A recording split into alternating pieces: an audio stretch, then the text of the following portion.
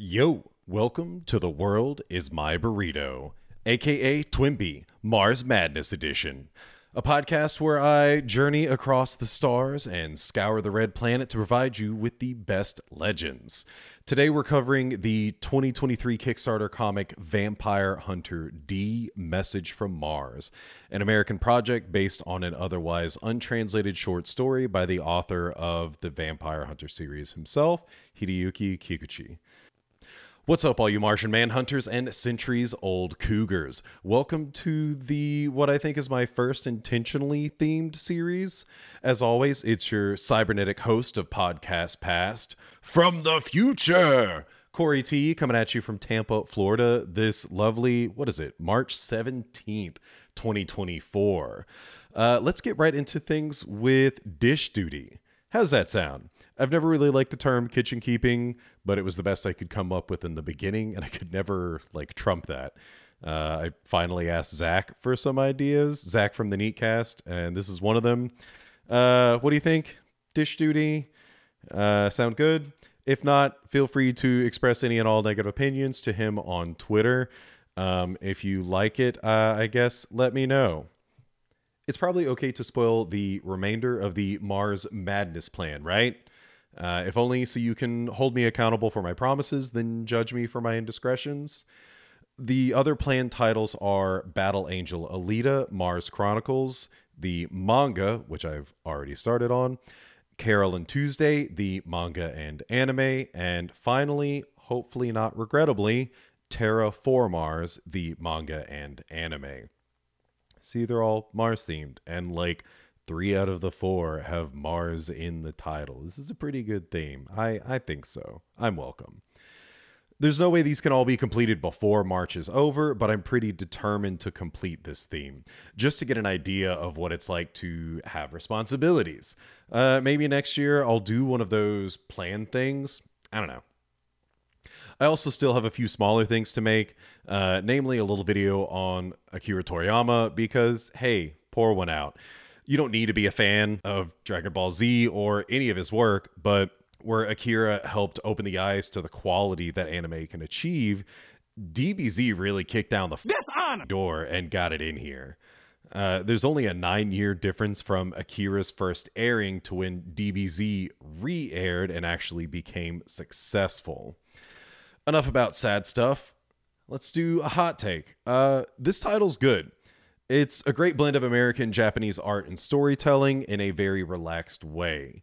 Sometimes being in the middle of the road fits the content better, and this does just that. Uh, comics are known for being short format, so this marriage to an already short story is very complementary. Now, for some personal history and why I chose this, uh, I'm a big fan of Vampire Hunter D Bloodlust, the 2001 movie. It is one of the few anime where the dub is amazing, even though John DiMaggio voices like seven or more characters, uh, and maybe especially because of that fact. It's it is just an all time like number one movie for me. You know, it has remained in like I don't know top three, top five, whatever uh, some kind of dumb list, uh, but it's always there at the tops for me. The blend of science fiction and fantasy really helps leave a lot of mystery in this world. Uh, we, the observers, have no idea what it takes to kill something or accomplish any feat, but D, the protagonist, does because he's the pro. And it's always easy ish for him, but may not always be the same. D and Left Hand, the sidekick, are resourceful. He's kind of like a Batman, honestly. Also, I love Amano's art. Uh, like, how can you be alive and not love Amano's art? In a very real way, that's what makes Vampire Hunter D. So, when this Kickstarter released, the advertising art caught my eye, and, uh, you know, the biscuit needed the risk, which paid off in the end. As for a little extra on the historical end, I haven't actually read any of the D novels yet.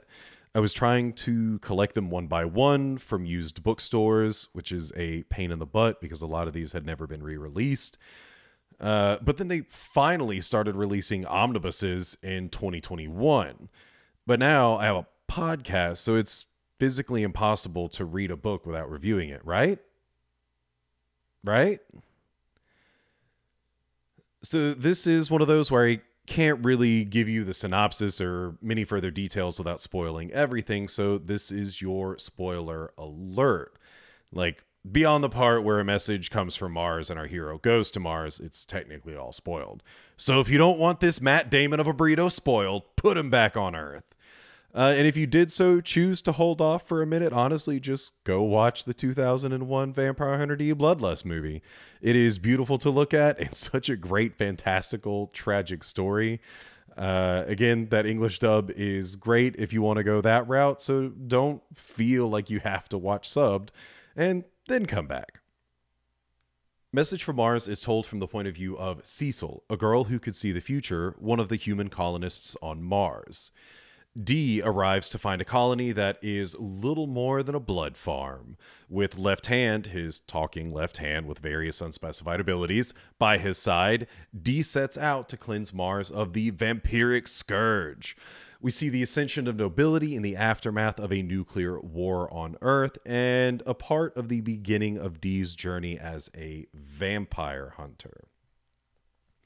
Now, for a little bit of the author uh, like in short story information. I'm going to keep it short but important. Hideyuki Kikuchi is the creator of the Vampire Hunter D novels, beginning in 1983 and still running to this day. It's a sci fi fantasy series set in a dystopian future where magic, myth, old tech, and new tech all exist side by side. Uh, in just the Bloodlust film, there's a decrepit Western town, spaceships, werewolves, vampires, and so much more as it relates to the aforementioned genres.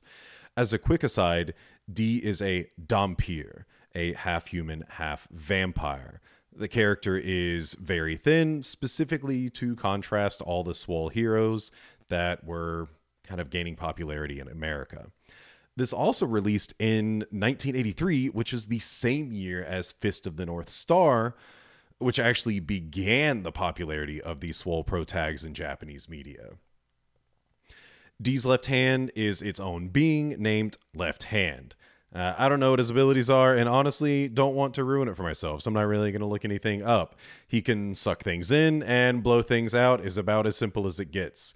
He speaks the most of the duo, so I guess you can add blowing hot air to that list of abilities. Anyway, Kikuchi has apparently been hosting these events in Shinjuku called Talk Live for a few years now.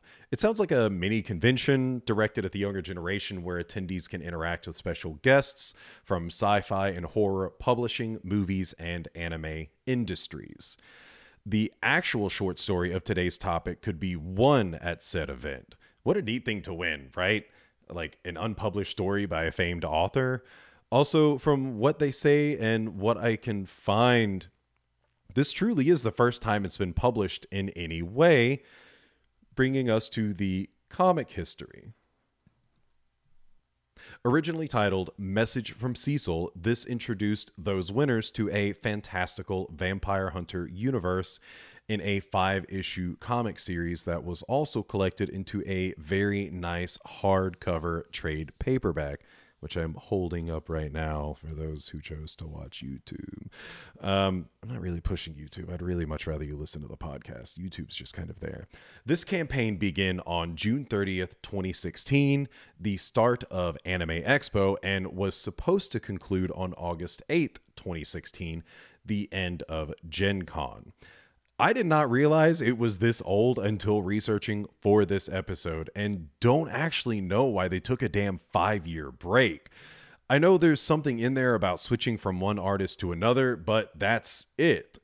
Uh, if you go to the Kickstarter right now, the originally advertised tier rewards are not what I could pick from back in, I think it was like 2021 when I signed up for this, or 2022. I don't know, one of those.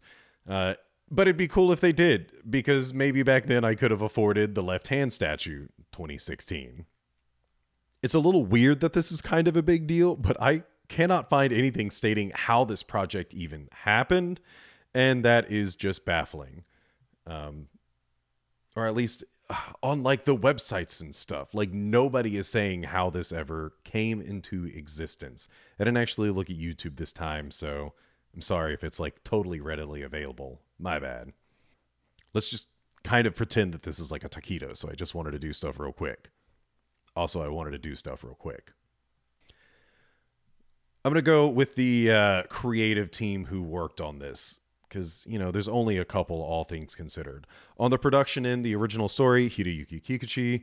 The character design, Yoshitaka Amano. Created by Kurt Rauer. Series translator, Kevin Lee. Uh, the writer, Brandon Easton. Artist, Ryan Benjamin. Inks by Richard Friend. The marketing and additional art provided by Christopher Shy, Artgerm, Agnes Garbowska, Hong Tak Nam, Jay Lee, Jun Chung. Artist assistant is Kira Brown. Editor in lettering and design, Emily Pearson. Layout, Sean Clapham. Production company was Peacock Print Co. The people from Unified Pictures who helped bring this together were executive producers Kurt Rauer and Scott McLean. Uh, on the digital frontier end, character design on the digital frontier end, character designer Yoichi Mori, creative executive Mitsumoto Suzuki, technical director Keitaro Hamabe. So, on to our topic at hand. The story begins with the beginning of Cecile's message framed by D's landing on Mars. From here on out, we phase back and forth between the past and the present like a mountain road. When she waxes poetic about her history with Future Sight and seeing D's arrival, the panels are focused on Dee maneuvering through what is basically a side scroller of a world. When she talks about hard history, like what she sees in her foresight, the introduction to Mars, romance, vampire evasion, that's all focused on her. But we're not here for her, we're here for Mars. The nuclear war on Earth somehow leads to vampires leaving their mark on the Earth, so much so that they can comfortably head to Mars.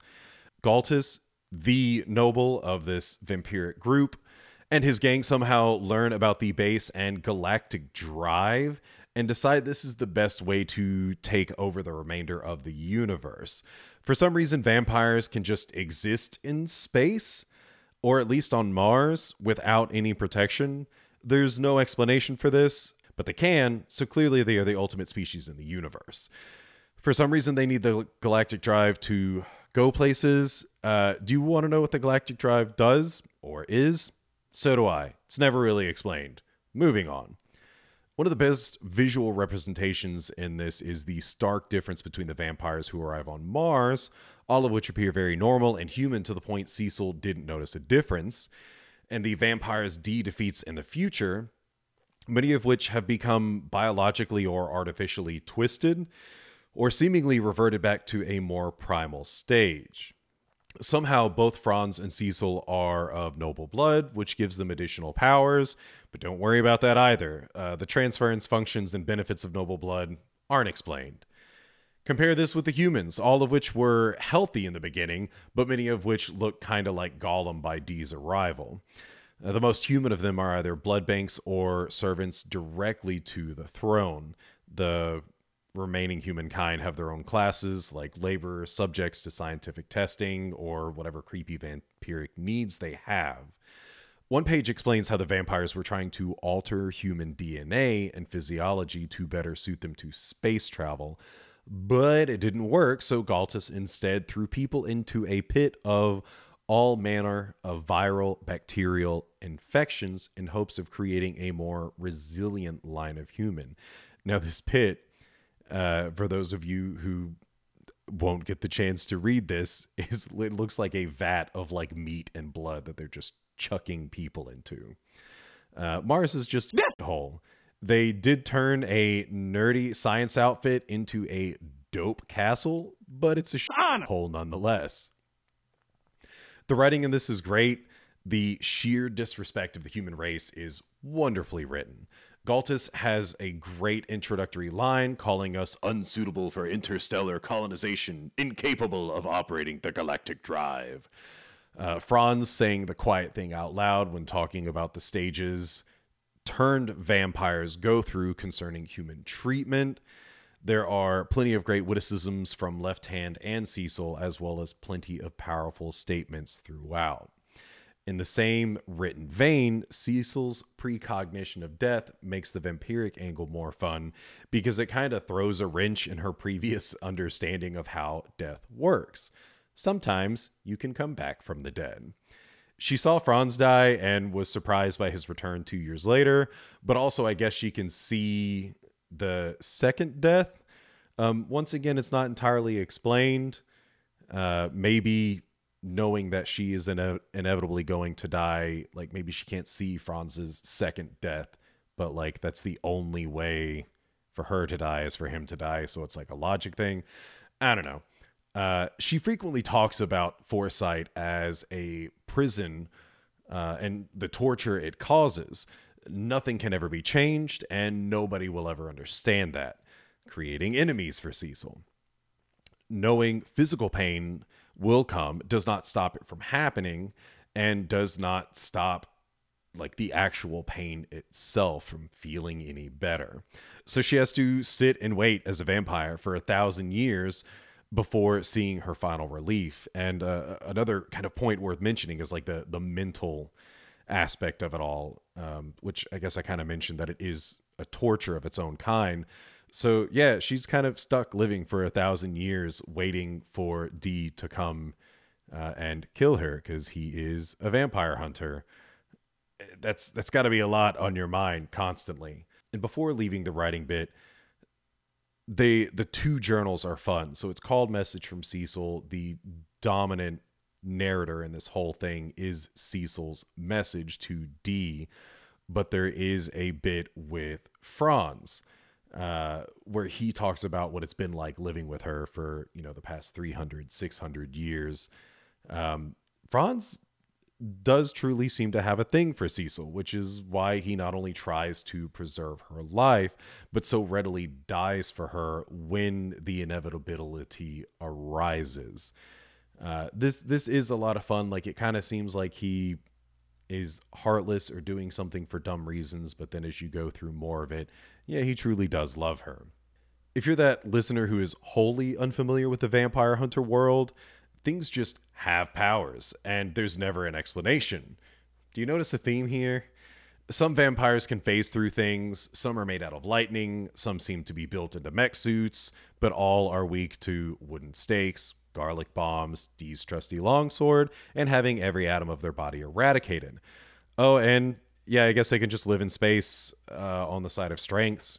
So that does kind of continue pursuing the magic that I, I found in, you know, Bloodlust and even the original movie of, you know, nothing's explained and it is just so fun. I will probably always talk smack about Twilight because those rules just seem kind of dumb and then you have this world where everything's made up and the points don't matter. It goes so far out into left field. You're like, yeah, I'm sure a vampire could turn into pure energy, yet still be cut by a sword. That checks out. Just in the Bloodlust movie alone, there's a human who can create an ethereal duplicate and shoot lasers, a plant girl who can move freely through plants like water, and a werewolf, but his chest is the mouth. Uh, are you confused? Embrace it again, combining so many aspects of fantasy, sci-fi, myths, you name it, it becomes much more freeing to me. It like all of the possi- they, the possibilities truly are endless. You just do whatever, uh, and it checks out because they don't really seem to break those rules. D must always win, and how he does it probably going to be by using his longsword. How are the enemies going to fight him? Nobody knows. It's like a JoJo's level thing right there. You never know what the stand abilities are. Uh, speaking of things that aren't explained, let's talk about how Galtus goes into hibernation looking like a stream bean, then comes out looking like Count von Schwarzenegger. Once again, no explanation, but I am here for it. Maybe we won't like nobles when they're mad, but his seething rage is very entertaining. Dude busts through the ceiling, butt naked, shoves D onto an exposed beam for safekeeping, walks up to Franz and rips him in half, then goes to torturing Cecile. This is where the weird fun of Japanese storytelling shines. It's not one lighters, it's the actions. The threat is very real, but there's still like so much humor in these moments, and at the same time, you're not exactly laughing. You're just like enthralled by what's going on. I think maybe the final point uh, worth mentioning, at least for me, is how this is just a side scroller. D arrives, offs a dude with no effort, enters a room with creatures, offs them with barely more effort, and just kind of keeps entering more rooms with more complex enemies. The first dude returns as a mid boss. The final boss literally takes him down to the base level for a showdown. So it is a fun kind of way to wrap all this up. He starts on the ground, he ends on the ground. One of the other things that's worth mentioning truly is the art. Like, you know, when this title like this comes out, it's like, well, how are you going to do this without, you know, how are you going to do this without like a Japanese team? Um, is certainly a, a question that always comes to my mind because there's definitely, you know, not knocking American artists doing things for like Japanese works. There's tons of like IDW stuff for Godzilla that's absolutely phenomenal. The storytelling still amazing. You know, plenty of it still feels very Japanese. But then there are so many other comics where you know they they have the kind of Japanese aesthetic and you can tell what they're going for, but it's definitely not fully there. Um, so the the art in this was obviously like extremely important to to nail down. I love how if anything's glowing, it's like hazy, so you'll have all these like crisp edges, but you know whether it be a glowing pendant or maybe the glow of the sunlight or the glow of a reflection off something, um, it's just you know beautifully done. Like you you feel it is a cartoon, but you feel like you're looking into a little bit more of reality. Yeah, that that was important. Uh, the art is great. The transference of action or series of actions from panel to panel uh, is always like pretty easy to follow. It seemed I don't know what it was about it, but it seemed easier to follow physically reading the book than looking at the digital copy that I got. No, I think that's kind of it for like the main topic and likes. Uh, I realized like I probably should show a little bit more of what I got. Like this is the hardcover. Actually, I need to go over. There we go. So yeah, the hardcover. Uh, there's no page numbers. I don't know how many it is. Uh, they they throw in their own art. Let's see. I'm gonna take the dust jacket off. Um, even with the dust jacket off, like it only honestly kind of makes it even cooler. Like I love this cover. Uh, again, I'm not pushing YouTube, but you know, right now it sucks to be a listener. Um, but they have plenty of the like marketing art, the hype art from all the artists kind of throughout the book, usually separating chapters. Um, so actually, I, I, kind of have a chapter account digitally, but yeah, I'm not looking at that. Um, it's it's a good read. It's five solid issues of comics. Uh, and then one of the best things, I, I'm always a huge fan of how things are made. So they have some of these pages where they will go from the paneling of like here are the pencils and then here's the inks uh, or I guess like the the storyboarding. So the super basic storyboarding, and then the more detailed pencils, and then the inks, and then the colors and text and stuff added after the fact. Um, that's to me a real fun thing to get in this. It's just included in the book. It's not an extra thing.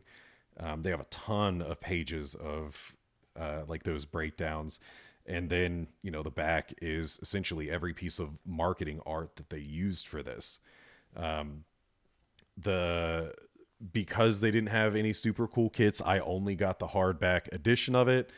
Um, the only other thing that i ordered with it as like an add-on was some of the actual art um, a couple of like uh, i think it was like eight and a half by 11s or something and five by sevens so it was a lot of fun. It was nicely packaged, um, and it, it is a very high quality printed book, I would say.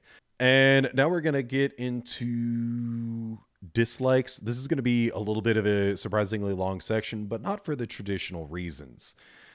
Um, I have only one truly teeny tiny dislike about our topic, and it's just the digital version. There are no chapter markers. And it ain't much, but there is some benefit to having a visual marker separating parts of the story. Uh, on first read, I became confused at some of the letter, the message, because we reached bits of narrative from Franz's perspective.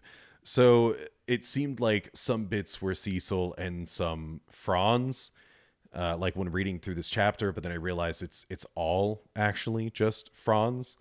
Had there been a chapter break, uh, this change would have been far more obvious. So like I read this twice.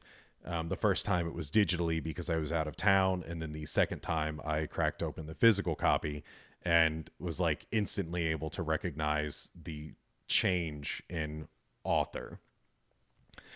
Uh, and so, one of the things that you'll notice I am missing on this episode, particularly about the book history, is um, a, a, a whole lot about production. I mean, again, there's not a whole lot of off options. Again, there's not a whole lot of information. Uh, so when you look at the Kickstarter page, it really does look like this went dead for a while with like no responses from the creators.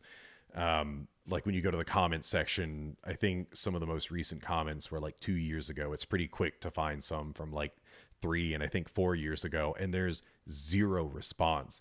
And that's a bummer. Uh, I, I don't know what was going on here. Um, I don't know if there's any type of a history out there behind this. I don't feel like anyone would air their dirty laundry.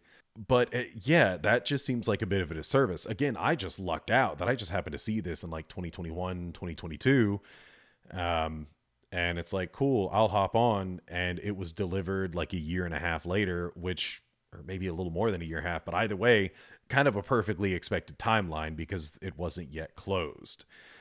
Uh, it, it's a bummer. Um, you know, I don't know how many people hopped off of this or even could hop off of this who ordered this back in 2016. I don't know if they ever got any of the cool shit. Because again, I only just learned that they had like the pendant, they had all of these other like tchotchkes that you could get that were not part of what I saw when I was looking at, you know, getting a tier.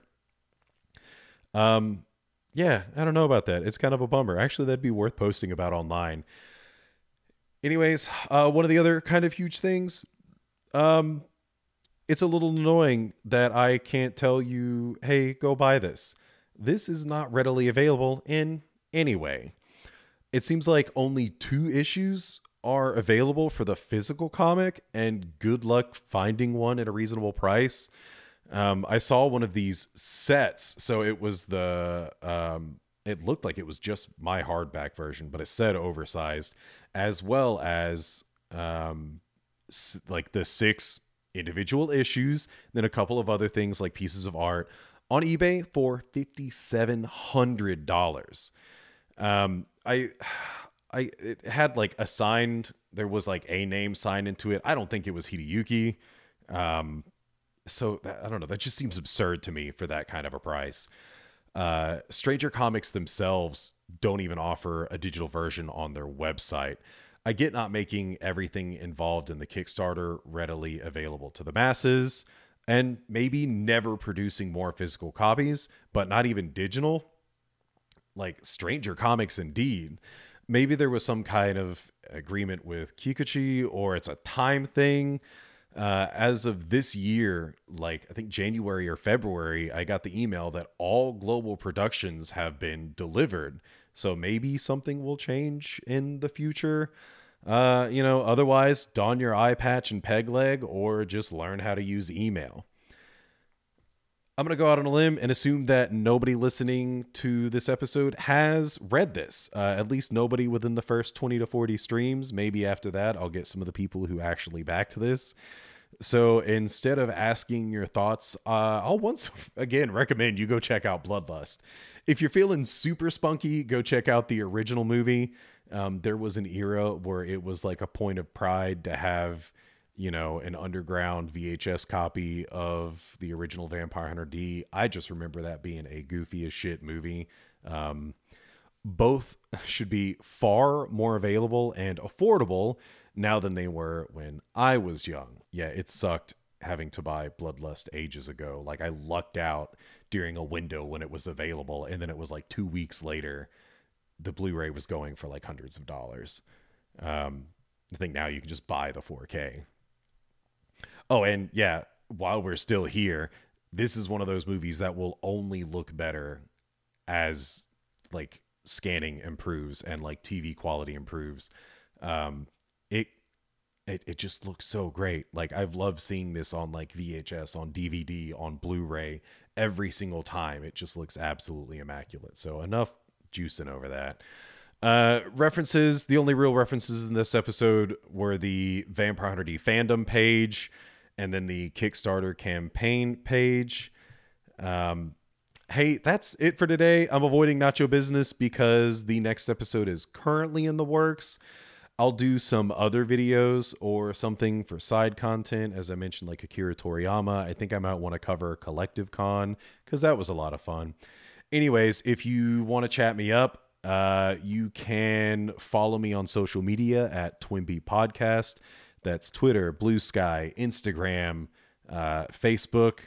Um, I don't know, anywhere, name a place. Uh, email twimbpodcast at gmail.com. You can go to the website, twimbpodcast.com. That is just the Buzzsprout page, but either way, you know, you can do it. Uh, yeah, honestly, that's it. Deuces.